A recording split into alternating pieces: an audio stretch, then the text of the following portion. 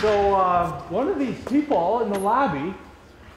So oh, Doug Brock, we got Bender here. One of the people in the lobby is is this month's sticker recipient.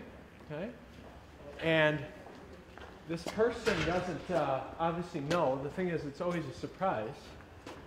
But the person this month that is our sticker recipient is actually Rich Murphy.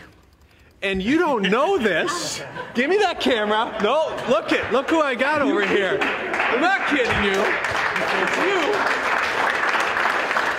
And you. So uh, we got the Parks guys who got the sticker rock last month. So come on in here, boys. The total setup, we caught him. You got nominated by several people, and you have been over the months. This time it was for uh, work he did at Caille Branch, teaching a class to kids. And Murph, we call on Murph all the time, and he does stuff at the drop of a hat. He works late, comes in early. He's got a goofy schedule, uh, and so we fooled you, brother. Yeah. Here's a challenge coin for that work. Thank you. I appreciate it, man. Yep.